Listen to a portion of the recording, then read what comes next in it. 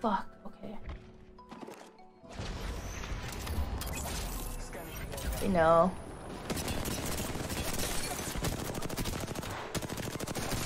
Oh fuck, they knew. They knew. that random... Oh, is he actually stream sniping? Oh, yeah.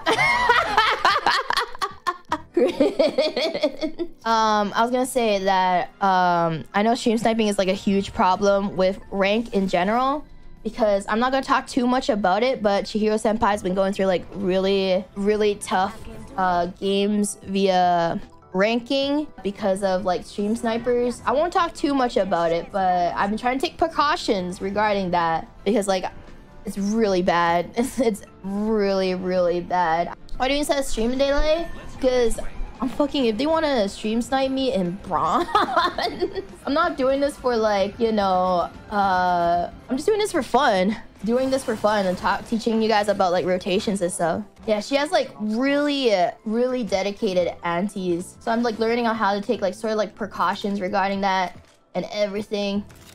And I think that's worth it. I think that's worth it. And I mean, man, you're not making money stream sniping me.